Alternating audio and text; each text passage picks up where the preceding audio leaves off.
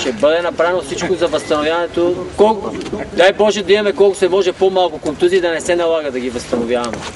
Доктори и масажистите да имат по-малко работа. А Йовановски са присъединили към вашия екип? Не, за съжаление.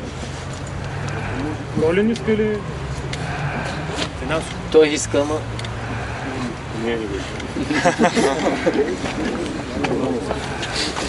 ще има друг човек.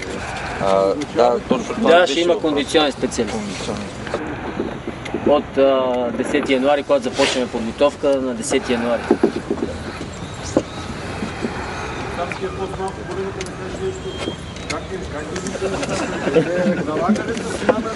Ала тук отпред няма смисъл да викаш. Само ти говориш.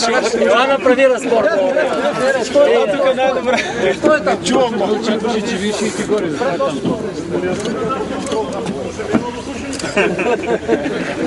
Ако искаш имаме анализ на всеки един по-отделно, ела ще го дам после след среща и ще се запознаеш подробно. Сега, наистина е мястото и момента да говорим. Все пак в неделя, все пак в неделя имаме важен матч с Черноморец Бургас, който аз искам да спечеля лично и го казах и на отбора. Надявам се и те да го приемат така. Амбиция в нас има голяма, защото миналата година спечелихме купата нашия екип. Тази година мислех, че поне до финал ще я докараме, така че Дай Боже да я докараме до господин Еми, това, е, това е нашата амбиция. Сега ще видим в неделя какво ще се случи. Говориме с футболистите, мотивираме ги, надяваме се да дадат максимум от себе си, убеждаваме ги, че матчовете предварително не са загубени. Трябва да се излезе и да се... Няма ги с нощи си. Няма, няма, няма. Не, не, такъв шанс не. Такъв шат.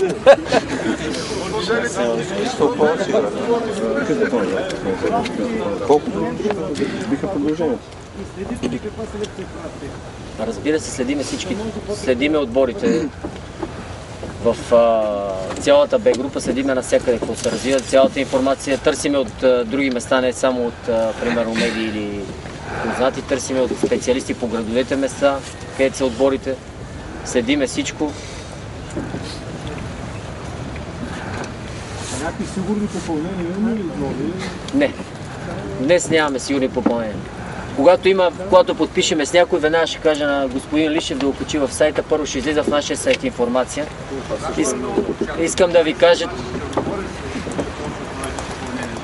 Надявам се да след мача с Черноморец, още другата седмица вече да имаме. Преговаряме с хора, надявам се да имаме резултати. Сега искам да ви убедя нещо. Нещата, хубавите може да се случат и след Черноморец, може да се случат и първата седмица януари, може и втората. Така че важното е тия играчи, които искаме да, те да са убедени. Защото са, знаете всички играчи, сега като се развиват някъде, всеки се надява примерно да отиде първо в чужбина, нали? Си мисли, че може да отиде в чужбина. По принцип ще искаме да, да вземем добри играчи, ако се налага някъде и прецениме, че трябва. Може, да. Ако прецениме за някой играч, че си заслужава и иска, може да го пусне отбора, можем да си позволим и да го платиме. А ще има ли конкуренция за всеки първ? И много говорят всички, как да кажа аз. А, да, това е хубаво. Наско Курдов. Разбира се. Разбира